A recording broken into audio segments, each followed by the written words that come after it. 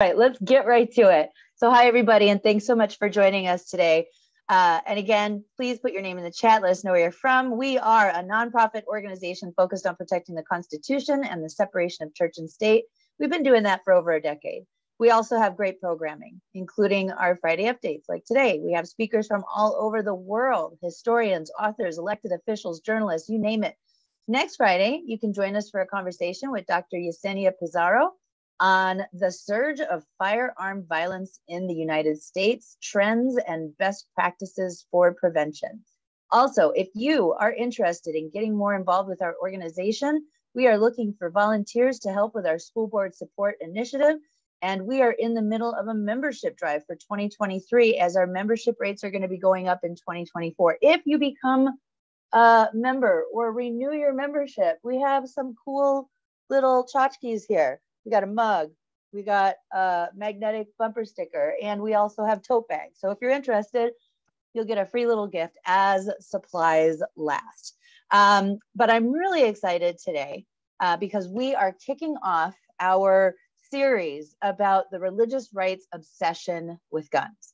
And today, I can't think of a better guest to help us kick it off. Uh, Dr. Joseph Slaughter is an associate director of the Center for the Study of Guns and Society at Wesleyan University. His research and teaching focuses on how religious movements and businesses have shaped American capitalism. His book project, Faith in Markets, demonstrates how religious identities in the United States' early decades influenced economic decision making, leading to the formation of distinct visions of the emerging American capitalist system. His work also explores how religion shaped the way indigenous peoples and early American colonists approached warfare, and his current research focuses on the religious lives of 19th century US firearm manufacturers. Wow, this is fascinating stuff.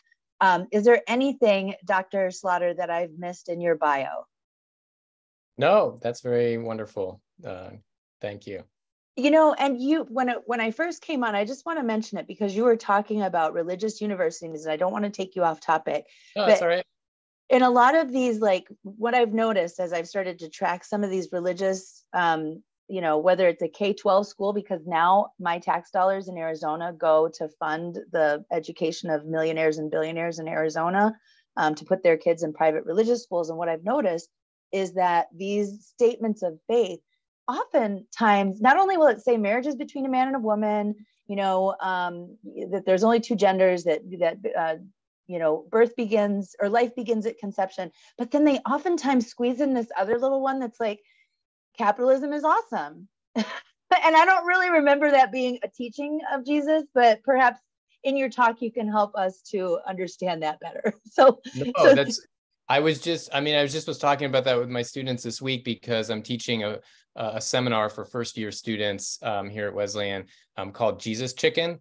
And it's about the intersection of religion and business. If you're not aware, there was some some progressives that called Chick-fil-A Jesus Chicken in a sort of pejorative way, and then it got reappropriated by some conservatives. And anyways, it's you have to have good titles for students to be interested in these kind of things, especially at a place like Wesleyan. But as they were reading in the opening weeks from you know the New Testament teachings, Sermon on the Mount, things like that, they were puzzling over where a lot of the sort of Christian support for capitalism comes from exactly, and um, and that's and that was part of the reason why I wrote my book is because I felt like um, if progressive people sometimes underestimated the degree of religion being an important thing to early Americans, a lot of conservative people overestimated and didn't understand the degree to which um, a lot of very religious people had serious critiques for the capitalist system and reimagined it and market exchange looking at a very different kind of fashion from what we might um, imagine um, looking back. So so yeah no those are that's a that's a good question. My students ask that all the time well, yeah, and I mean, I don't know if you've ever heard of the it's Brad Onishi and I can't remember who the other person is, but they have a podcast called Straight White American Jesus because that's kind of the idea of Jesus that gets bandied about. Like he would not have flipped the tables, he would not have helped anybody who was poor, he would not have fed hungry people, you know. So no, um, he wasn't gonna, an Aramaic speaking person, that's for sure. Yeah, right. Not at all. Okay, I'm going to just pass it off to you, John. I will monitor the comments and I'm going to turn my video off. So take it away. Sure. Um, so, anyways, also just in case you wonder, um, there's some, you know, things like airplanes behind me and stuff because I actually was a Navy pilot in another era before I um, before I came to teach at Wesleyan. So I'm a little bit of an odd duck in that regard. But actually, my whole interest in this as a subject started a couple years ago as I was kind of getting into the publication phase of my book and trying to think about what I wanted to work on next. And I had some international students because we have a number of international students um, here at Wesleyan who come with you know very interesting perspectives from different um, places and cultures and very oftentimes you might be surprised to know that a lot of these international students are christians coming from places like china or west africa and they're oftentimes confused about some of the things that are bundled together with Christianity in America, because for them, they might share some of the theologically conservative types of approaches in a Christian sense, but don't understand why there is, for instance, this obsession with firearms.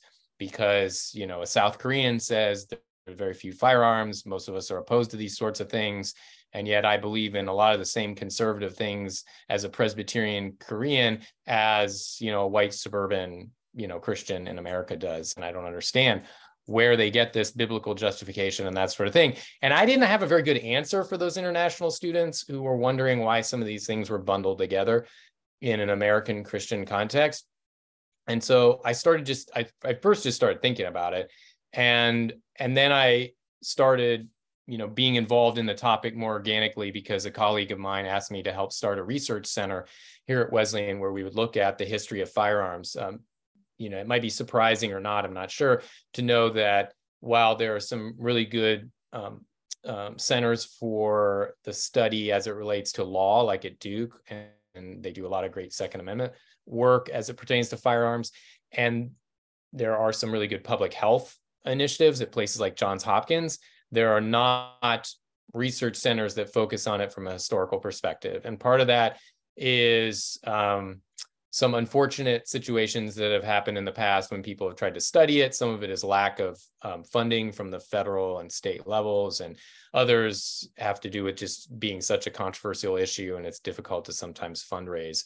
Um, particularly knowing that you don't want to take money from firearms manufacturers on one hand but if you take money from advocates on the other, um, you know, the other side will discount your research. So, uh, you know, we've been working on that for the last two years, getting this center started, and have had a lot of good, individ- you know, uh, uh, initial discussions. And as I got more working in that, and then had this interest from students, and uh, was teaching in Wesleyan, which is, if you're not aware, sort of the heart of the original gun manufacturing industry in the United States, from New Haven, where Whitney had a plant, all the way up to the Springfield Armory, following along the Connecticut River Valley. It was a mecca of the kind of skilled craftsmanship and the mechanization that was necessary to turn it from a, a, a, a very sort of small scale artisan type project into an industrial commercial type enterprise um, by the Civil War and thereafter. And, you know, surrounded by that history, and increasingly seeing people campaign on these like God and Guns type platforms and seeing these sort of things show up on T-shirts and bumper stickers. Uh, I just, you know, I was sort of confused, um, particularly because growing up, I was aware of more of the Peace Church tradition. I remember going to a high school basketball game at Goshen College, which is a Mennonite institution in northern Indiana. And this was right after sort of the first Gulf War, and everybody was playing Lee Greenwood music and all those sorts of things. And they didn't do the national anthem. I turned to one of my friends and said, "Oh, why didn't they do the national anthem here?"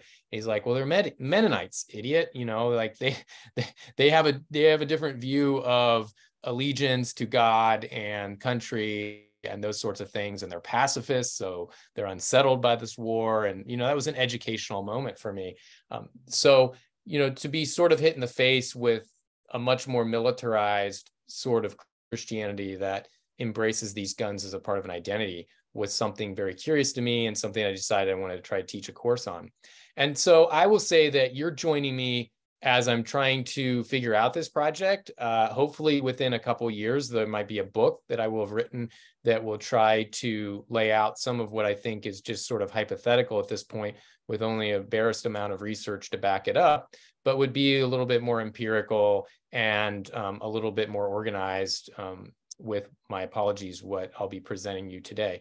I don't think there is a single like smoking gun in the story. I think it's a series of signposts and maybe moments.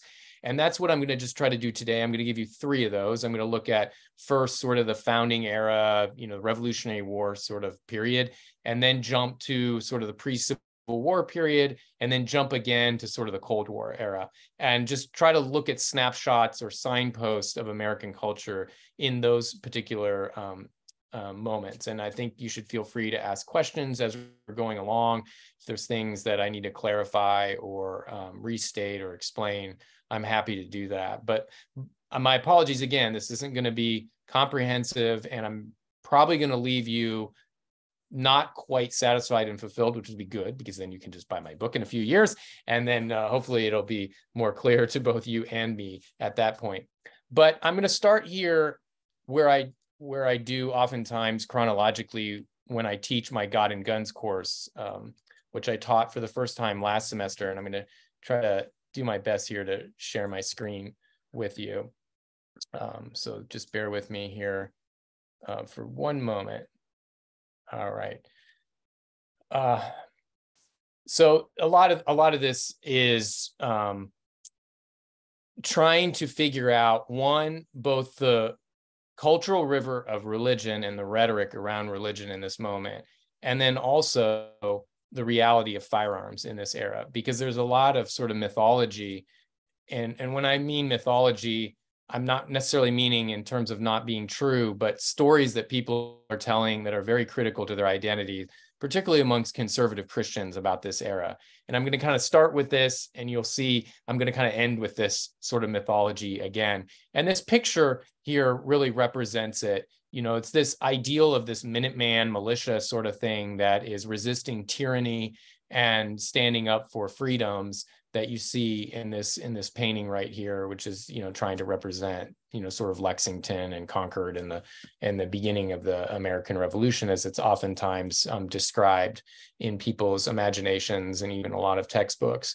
And at the at the same time, one of the things I think is really important to understand about um, just the religious rhetoric are these these these stories that people tell about declension and decline. That's the con you know that's the sort of famous idea of a of of uh, of a jeremiad and that it's always sort of centered around this idea of the covenant. And even though the covenant is born out of a very sort of calvinistic view of christianity that isn't nearly as popular today as it was back in the 1700s it's a latent thing that is still in the back of the way a lot of people think about how God treats nations and individuals and communities. And it's why oftentimes there is so much emotion revolving around um, cultural issues because they feel like this is a, a, circumstance with eternal consequences, not just for them, but for the whole country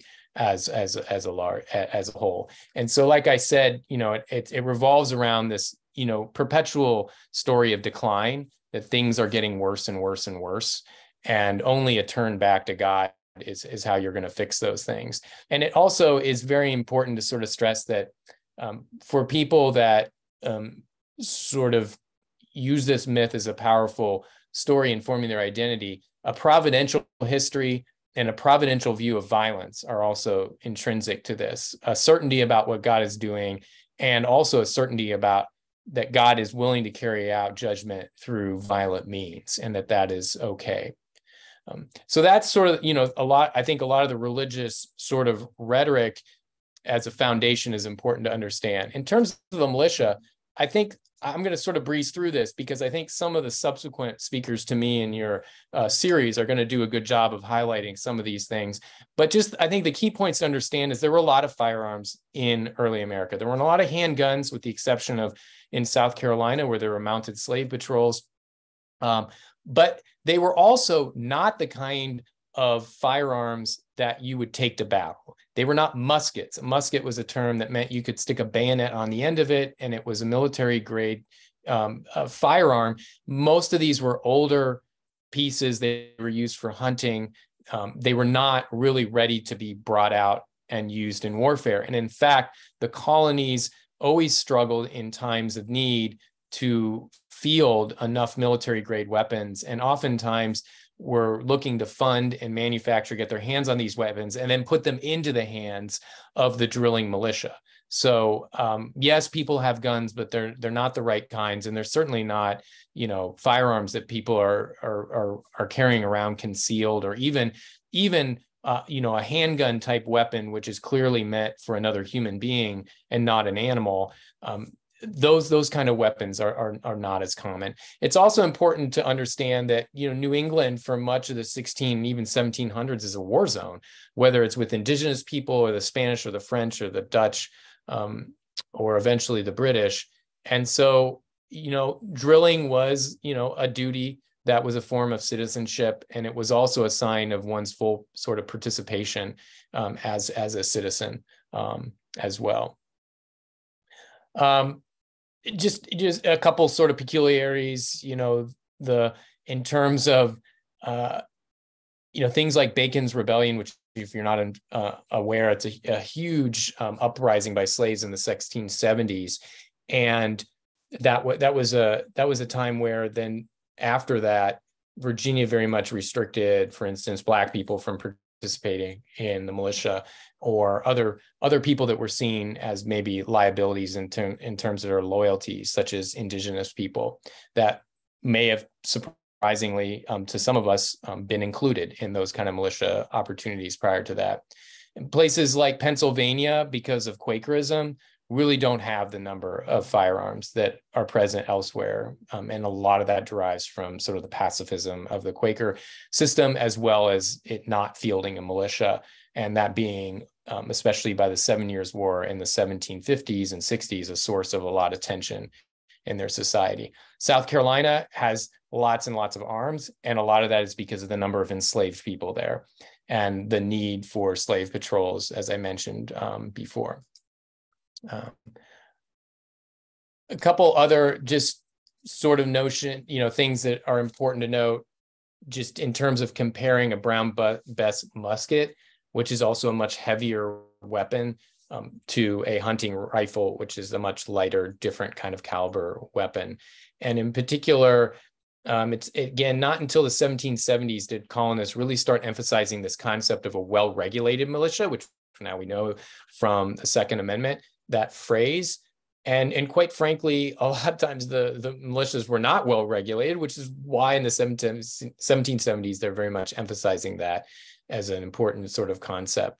And and militia performs very unevenly. George Washington, Hamilton, others want to establish a uh, a, a, national army, a national navy, because they were very disillusioned by the performance of the militia all through the American Revolutions, which is obviously different from sort of the, the mythological conception of it. And after the war, the number of, of, of guns um, does begin to decline um, in comparison. So one one other thing that I just want to mention in terms about the rhetoric of this early American period before I jump to the Civil War period is that Judges 5, which maybe many of us are not familiar of with because I don't think even if you grew up in a church context you probably heard a sermon about Judges 5, but it's about this um, character Yael who uh, takes a tent peg to the temple of the Canaanite general Sisera, who's an enemy of ancient Israel. And um, she's then glorified in the Song of Deborah, Deborah being one of these judges, a female judge in the ancient sort of Israelite history, as this, you know, amazing servant of God who slew, you know, Israel's enemy in this incredibly violent sort of way. Well, you know, this becomes sort of an archetype in the 16 and even in the 1700s in New England. And these, you know, statues of people like Hannah Duston with her her axe here, who were sort of contemporary examples of Yael in colonial America, particularly in fighting against um, indigenous peoples. And it's the most preached on passage in war from the 1670s through the 1770s. So for 100 years, this is most commonly the passage that's used, this Judges 4 and 5 account of Yael and the Song of Deborah celebration afterwards um, in sermons from the pulpit in um, in the Americas. So that's I think that's a that's an interesting reminder in terms of the way in which violence um, flowed oftentimes from the pulpits. And although we're not speaking specifically about firearms here, clearly, you know, there's an intersection there. I think and that's not insignificant to um, to consider. All right, so next I'm going to switch to my um,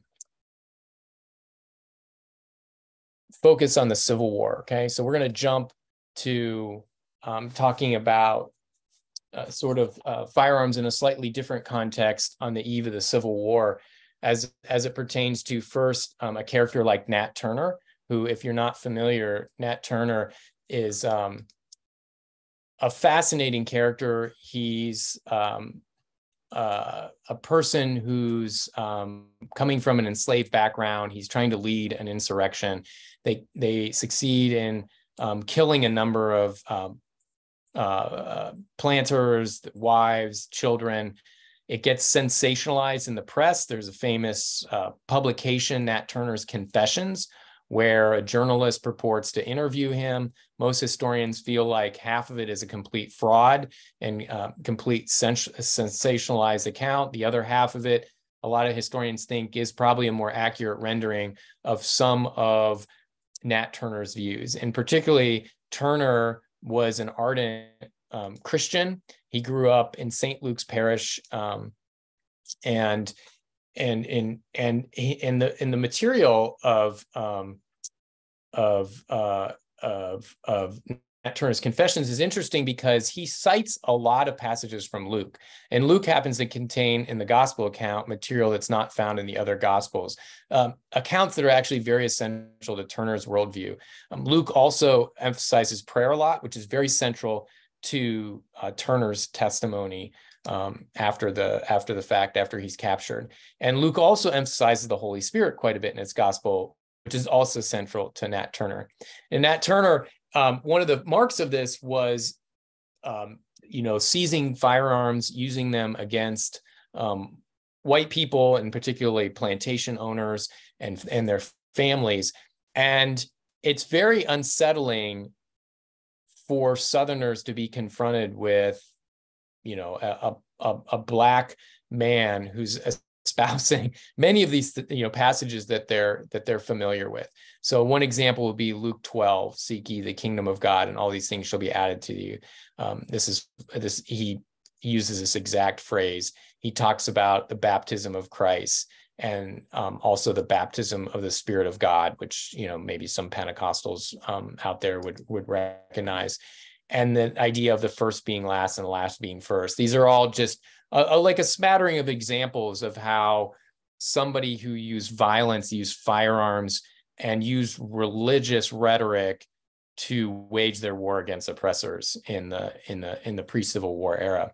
And and I like to include this because in my students' conception, we have a sort of you know, and I'm guilty of this oftentimes too, sort of pejorative view about people that are mixing gods and, and God and guns.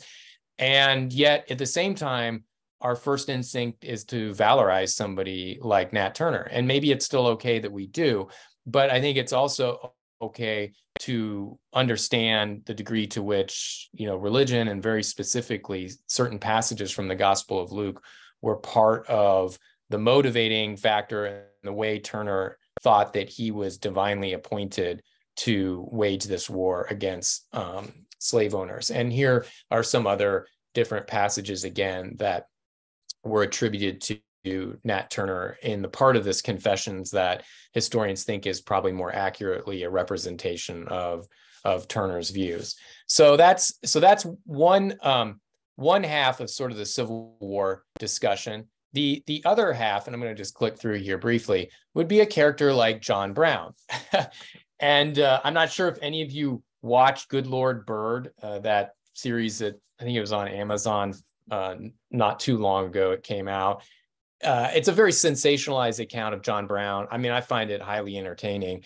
Uh, so, you know, I recommend it from an entertainment standpoint. I think they look at John Brown as like a crazy um, sort of freak. And I'm not sure I'm comfortable with that part of his depiction, but they do try to highlight the degree to which he is using um, Christianity to um, underpin his endeavors. And so I think, you know, that part of it is, is helpful. Um, I think that John Brown knew his Christianity better than the good Lord Bird gives him credit for.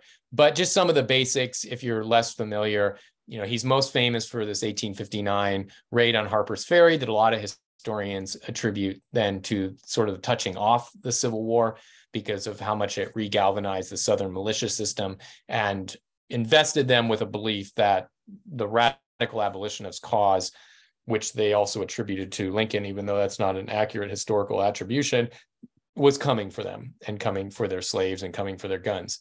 And he very much um, claimed to be driven by the Golden Rule, which you know might be curious if you know about his mission in places like Bleeding, Kansas, where he hacks pro um, slavery settlers uh, to death with machetes. Uh, but uh, still at the same time, uh, sort of claimed to be driven by this golden rule on behalf of enslaved people. And um, as I said, is probably one of the sparks of the Civil War. If you read, he has a, a, slew of letters that are published after he's captured at Harper's Ferry. He survives sort of miraculously, and he's in prison, and he does a lot of letter writing.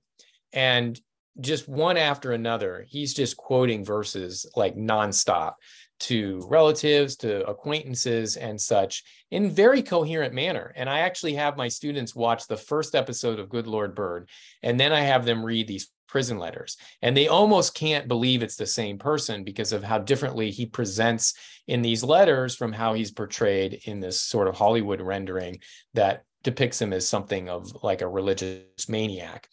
And instead, they see a very sort of calm, sort of rationalistic, and in many ways intelligent sounding character who seems to really know his scripture very well and uses it to inform his you know sort of violent abolitionism again this is just a list of uh, verses that you'll find in these different letters and just these are just a few out of many that are in his collection and you can there's some of these are digitized online and others you can you can get them through interlibrary um, loan. So uh, I'm gonna I'm gonna stop there with John Brown. So that's my my my second signpost, and I'm gonna now jump to my third signpost, if I can get it to here, which would be the Cold War era, and get the right slide to share here. Okay.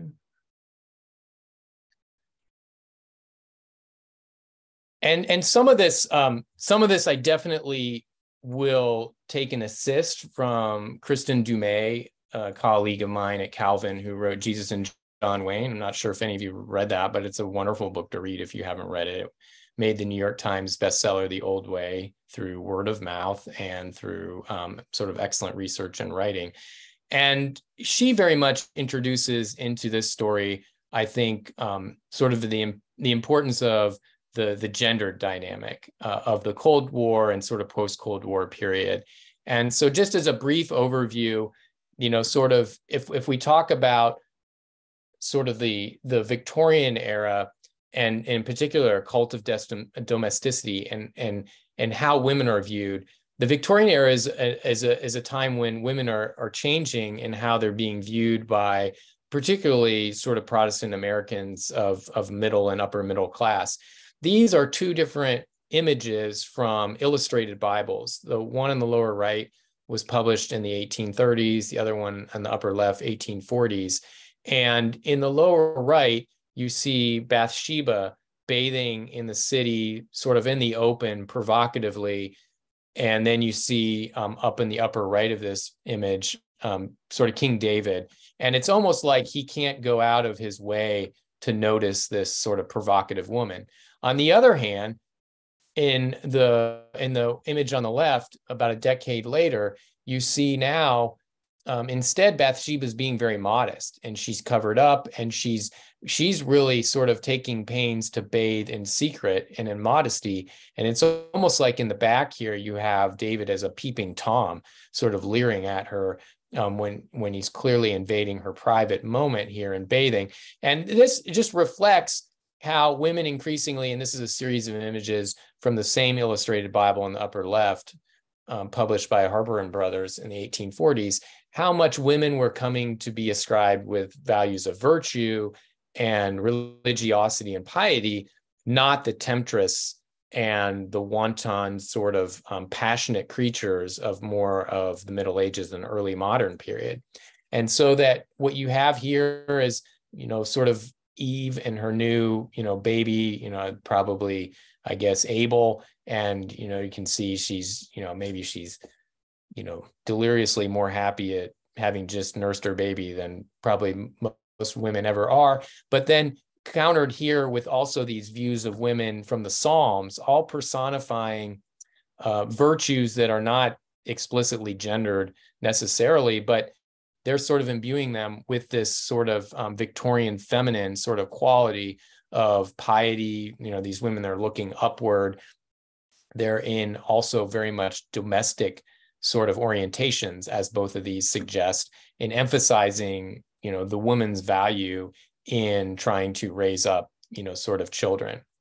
And and so if we sort of think about that as sort of a foundation of this idea of domesticity sentimentality but then this concern with over civilization which gives way to at the end of the of the 19th century a muscular christianity embodied by a, you know a sort of an extreme example like billy sunday who you know is a famous ball player and then becomes sort of the Billy Graham of his era as an incredibly successful evangelist, he's trading on this coin of muscular Christianity and this idea that we've become too feminized in our Christianity, that the Victorian sort of thing was good, but it went too far.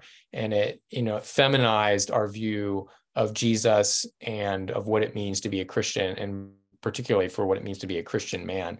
Um, this is, you know, I, I, always love this quote uh, from a, a, newspaper of the time, illustrating and trying to explain the mode of Billy Sunday's evangelism, which was just incredibly physical and um, sort of over the top in many ways.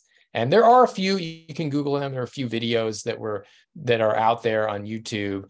You know, later in his life, you know we do have you know recordings and such but he was older by then and they they don't quite do justice to what he was in his prime as a little personal aside i totally took for granted the fact that uh, when i was in middle school and high school i actually rode by billy sunday's um, house um, in indiana routinely and walked by it on my way to the bus. And uh, now i have all this appreciation for this history that you know as a young person i had no appreciation for whatsoever. But that personal um, bit aside you can also talk about things like the ymca young men's christian association is another expression of this and then the militarism that we see in world war one um, um, and then and then um, a book the man nobody knows that really um, sort of tries to present Jesus as a businessman and the disciples as like entrepreneurs in many ways. And so then bringing in that sort of aspect of manhood and imbuing it with a sort of um, of um, uh, sort of sanctity, so to speak.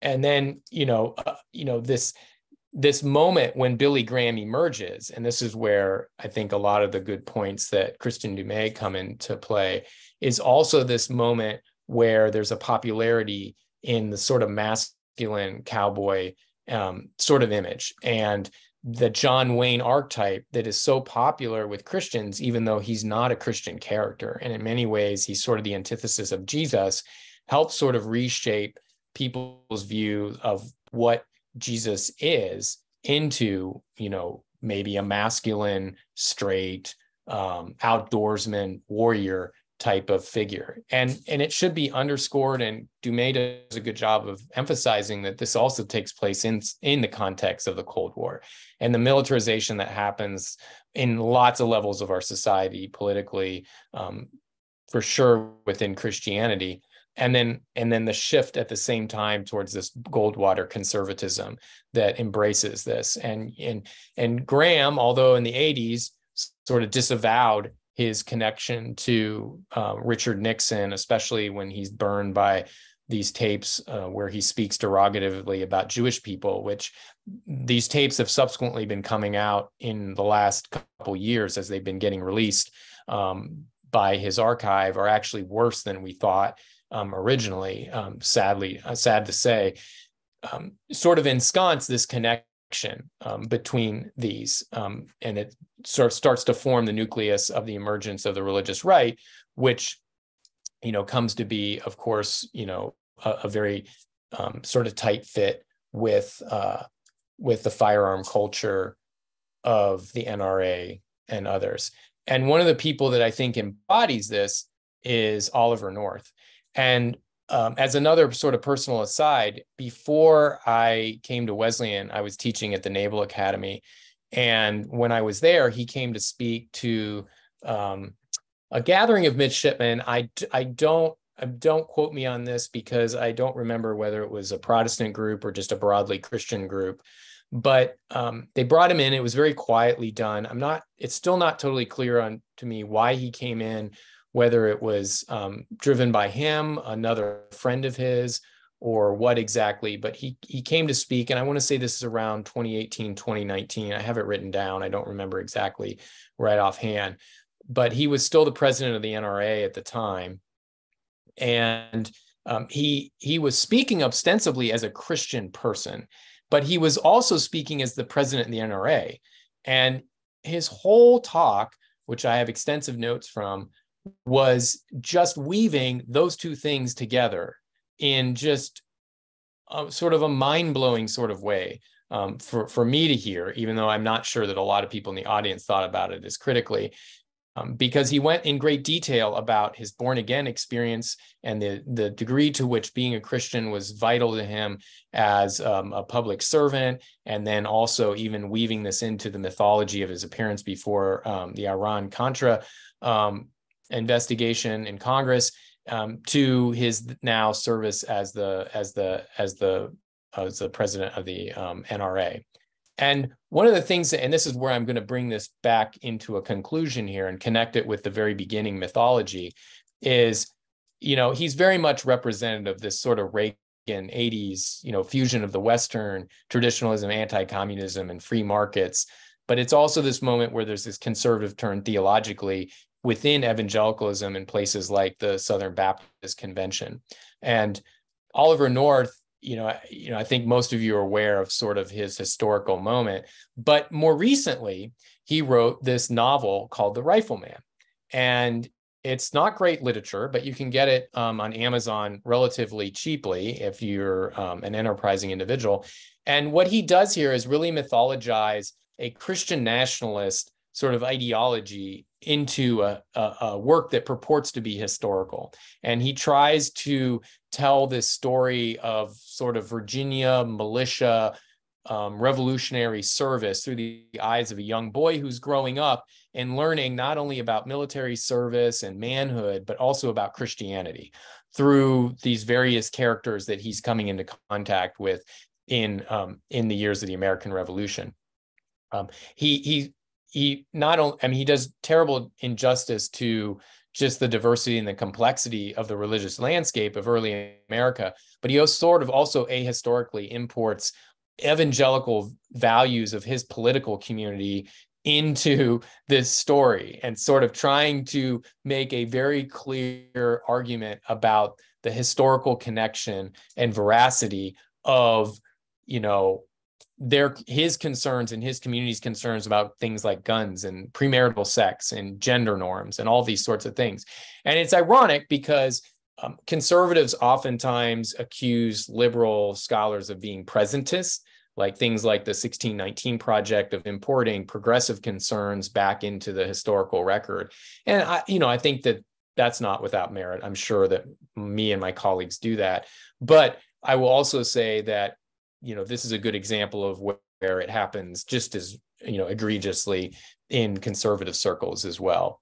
And um, and I think that in many ways, also sort of my final thought for this is that a guy like Ollie North, in his fusion of Christianity and firearms, really provided also a template that is copied today in sort of performative politics, um, because that's very much what he was doing in the Iran Contra affair, and um, was sort of probably ahead of his time in that moment. But I very much see echoes and legacies of people like a you know General um, you know Flynn and other types like that who sort of represent that sort of fusion today in sort of the sort of Trump um, political climate.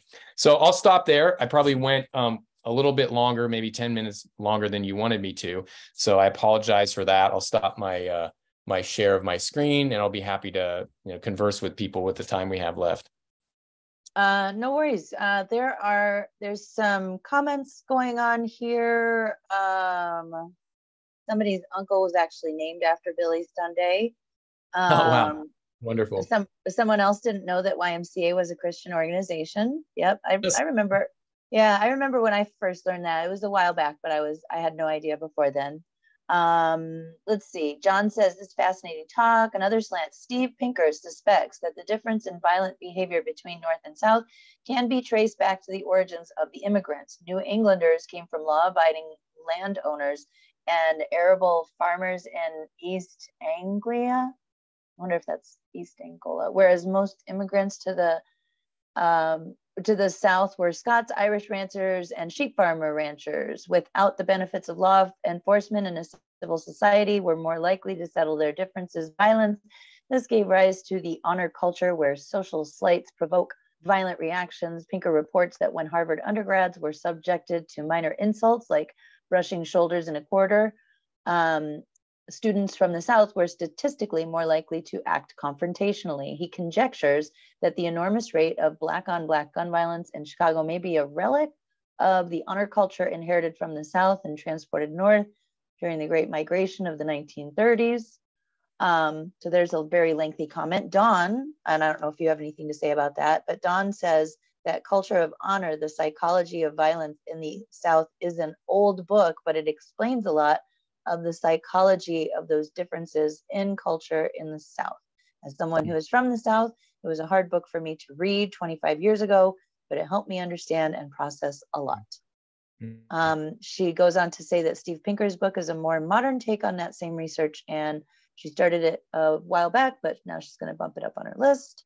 Um, New Mexico Skies says, but today Southerners live in McMansions in a suburban development. So why are they still so confrontational? I don't, I don't know if that is a rhetorical question. Um, because we were all raised that way, Don says. I still hear people say the South will rise again. Mm-hmm. Indeed, I have friends who live in the South, and they are, I mean, you know, we've had speakers on here who have said this before, Jeff Sharlet. Um, you know, mm-hmm. as we are in a slow civil war. Mm. So this idea of like, you know, defending their homeland, it it runs, you know, they still kind of feel like they're there to protect their southern ideologies, I guess. Um, Peter's asking in the Q&A, did the John Birch Society have a religious aspect? Oh, yeah, no, that's a really good question. You know, I so I mean, I've thought a, I've thought a lot about this um, because um, not i mean not overtly but there were definitely religious people that were involved in it so would one good example would be somebody like um, um, Rushdoony, who's like the founder of Christian Reconstructionism, and in many ways is sort of the founder of the Christian legal movement today. He wrote this institutes um, of these huge volumes of basically trying to transliterate Levitical and Deuteronomy sort of law into like American jurisprudence and kind of especially at a law school like um, Regent in Virginia Beach, Pat Robertson's um, organization. You know, I, I I don't know that they're opening it up today, but it sort of created a roadmap for people to think that way. And he was involved in John Birch Society.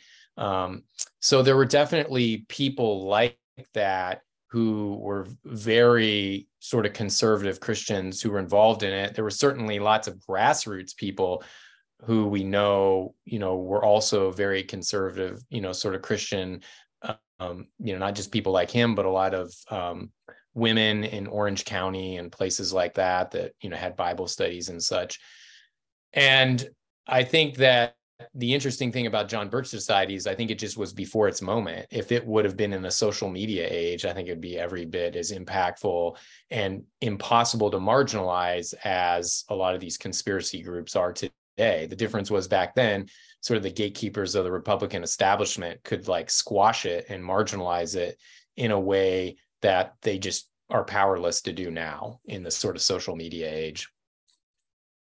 Um, there is a question here from Ravon, and she, uh, let's see, J.P. Stevens, uh, Supreme Court, 1975 to 2010, advocated to repeal the Second Amendment as a relic and as a gift to the NRA. Is a repeal possible? uh, I'm, I'm, as a historian, I look backwards and not future uh, forwards, but I'm, I'm not optimistic about that. That's for sure. No, I'm I'm definitely uh, not optimistic about that either. Um, so uh, there's no more questions here, but um, I do realize that what was it yesterday, sometime earlier this week, Biden put together some kind of gun safety um, council or something like that. Uh, and I don't know if you, uh, I don't know if you know the details on that, but I mean, do you think this is just kind of like you know uh, performative because it just kind of feels like nothing has been done so far everybody sends thoughts and prayers after the latest mass shooting and and we all go along you know i mean I, we're all so desensitized to it at this point. Honestly when i see something trending on twitter like and i'm like oh it's only two people that are killed like that's and i and i it's terrible to admit that but like that is where we are. Do you think that this you know committee or consortium or whatever it is that he's put together is going to have any teeth and make any kind of difference at all? Well i'm not optimistic at the moment but not for the reasons you're describing although i'm very sympathetic and share a lot of those views um, i actually am more sort of concerned because just as a historian if anyone's familiar with the bruen decision from last summer, which established for the first time ever the right of people to carry firearms constitutionally outside of their homes. So if Heller previously, for the first time ever, um, established the right of people to um, have guns in their home for personal defense, um, then Bruen took that the step further and said that people have that constitutional right outside their homes. And the second part that is more of a problem, which is being dealt with right now, and why I'm pessimistic, is because um, Scalia's um, decision said that the measure of all regulations was whether there was a historical analogy at the time of the Constitution and the Bill of Rights. And so, for instance, you know, the Rahimi decision is being, you know, is, is going to be interesting to see how the Supreme Court um, rules on that because that one was a situation where trying to deny a, you know person who is um, a, a threat of domestic violence from having a firearm is you know allowed to have a firearm because there's no historical analogy for restricting firearms from you know um, abusers in you know the 1780s um, now we can we can talk about why there aren't why there aren't laws um, for that then, and you know there's a lot we can talk about the status of women and you know other sorts of things about that.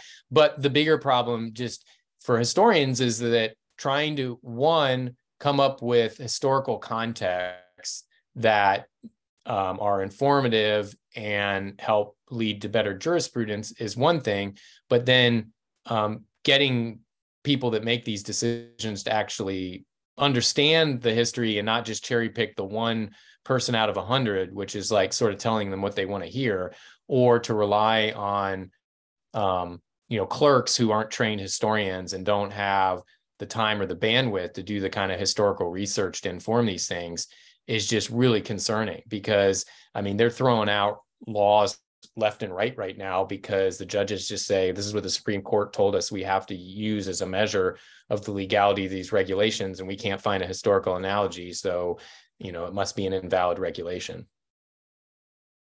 Um, let's see. And Timmy reminded me that it is called the White House Office on Gun Violence.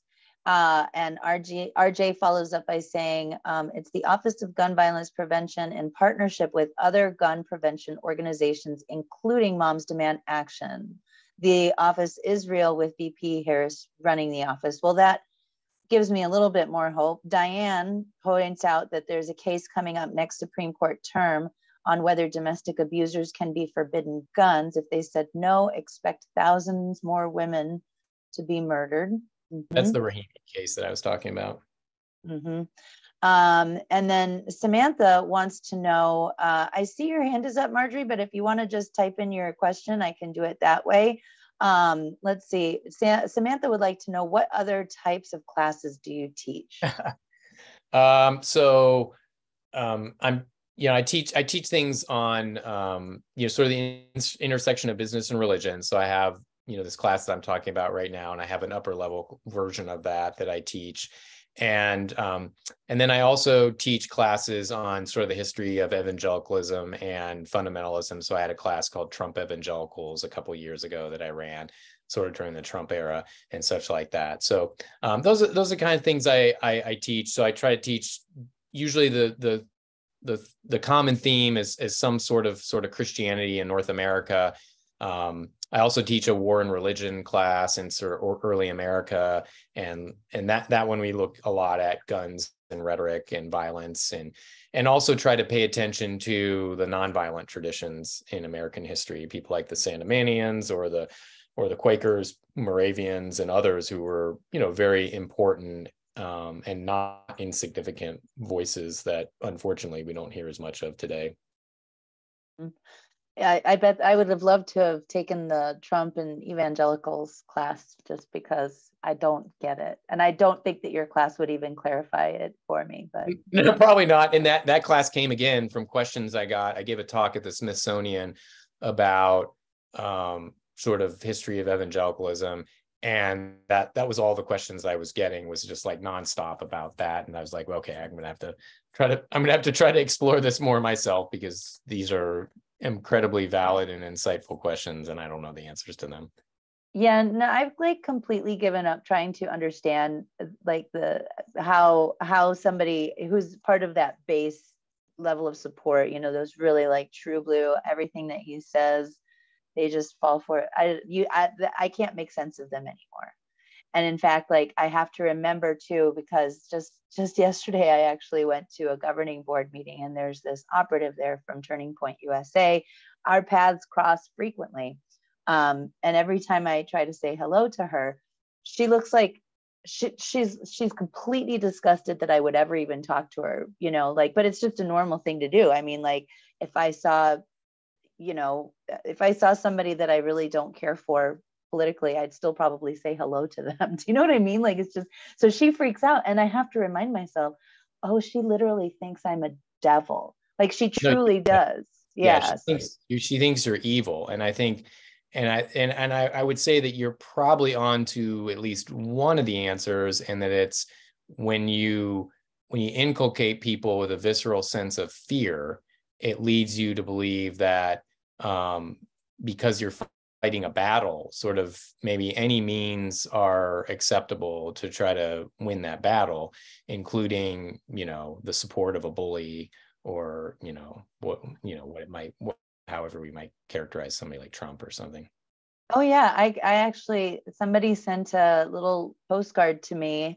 I I kind of think it may be the same person, and it was all about how you know, I have fallen um, and that, you know, I'm on Satan's path and that, you know, that that the God's real followers have a solution for me. And I took it as a threat. I even called the police just to kind of let them know because this is the world we live in these days. But they were using scripture to justify, like, if I still stick with my evil ways, well, then true followers of Christ, by any means necessary, can take care of me.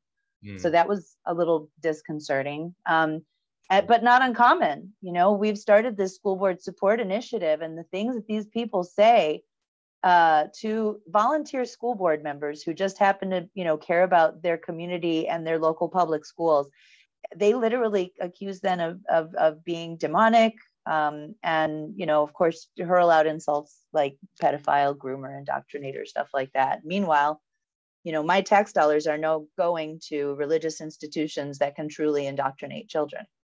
So um, let's see, it looks like we have one uh, last question comment here. Uh, would registration of all firearms and licensing of gun owners and users actually do more to curb gun violence instead of trying to ban one narrow class of weapon that isn't used in most gun crime, although mass shootings are most newsworthy in their horrible consequences? Hmm. I don't know, maybe. I have a, a good friend of mine, um, John Ismay. He's a classmate of mine from the Naval Academy, and he was an explosive ordnance disposalman um, before he um, went to report on um, both international and domestic um, um, violence, and particularly the use of different kinds of uh, you know sort of heavy military grade weaponry, and he he sort of thinks that the only real solution is banning high capacity magazines. That that's really the, the only sort of solution that um, you know is going to start limiting you know these these mass shootings and things. Um, so he knows my, you know, he knows a lot more about that and has reported more on it than I have. So I sort of defer to him on that. So I, I don't know. I would, you know, next time I see him, maybe I'll ask him what he thinks about, you know, the registry, you know, sort of thing. Right on. There's a ton of links that are being shared.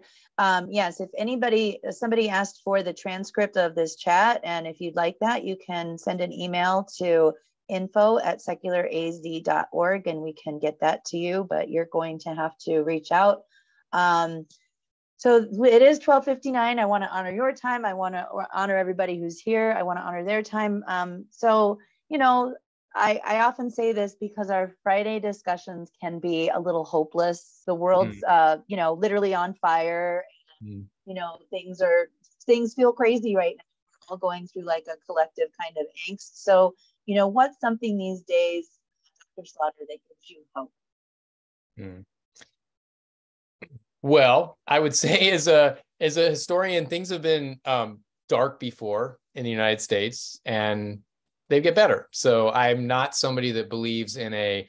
I'm not somebody that believes in either necessarily a historical declension or necessarily a story of historical progressivism necessarily, but I do th- think that things change and you do have moments where things seem darker, and then I think um, there are times when people's minds on things change. I don't, as again, as a historian, I, I don't predict the future, but that oftentimes helps me. Um, like, for instance, when I'm feeling very depressed about sort of the political rhetoric of the moment or the things that I see being said about political enemies. And then if you go back and you read the things that were written um, in the 1790s, the late 1790s, uh, whether they were from supporters of Adams towards Jefferson or Jefferson towards Adams in the highly charged mm-hmm. election of 1800 um, it makes me realize that we've had these moments before we've lived through these moments um, we've gotten through these moments and you know that that you know i don't i don't know if that's i don't know if that makes other people feel good but it always makes me feel good to feel like this is not necessarily maybe the most unprecedented moment ever and it's not maybe the darkest moment ever. And you know that there are things that are way better you know when we look in the past and we see you know, you know, thousands and thousands of enslaved people in America. Um, I'm very thankful that I live in a moment where that's not the reality. Um, and that although there is lots of racial injustice that we still have to work towards eradicating and police violence and those sorts of things, which are just tragedies, um, you know, that was something that changed in a moment where I'm sure people who wanted that to end were incredibly depressed at one moment and couldn't see that there would ever be an end to that system. Um, now, I, I know you're not praying types, but uh, so let's hope, or you know, if people are praying types, pray that you know we don't end up having a civil war to get to you know our next better moment in that regard. Uh, but uh, that that would be you know sort of as a historian, that sort of context you know helps me at least try to stay a little sane. Yeah, yeah. I and I you know lucky for me, I get to. Um, see a lot more. It's happening more and more. I've been active in local Arizona politics now for, I don't know, like almost 20 years.